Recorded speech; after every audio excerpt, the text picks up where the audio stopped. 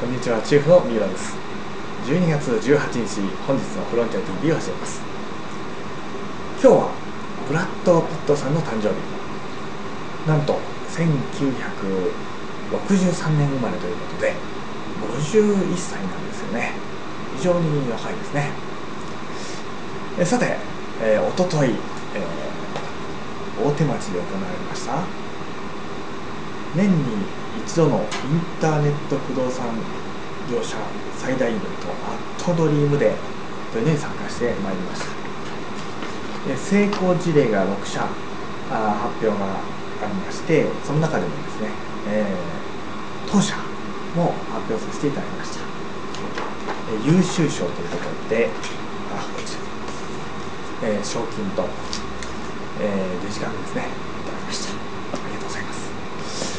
えー、大正のハーバルホームさん、えー、おめでとうございます、え、これからもですね、え、分かりやすくいろんな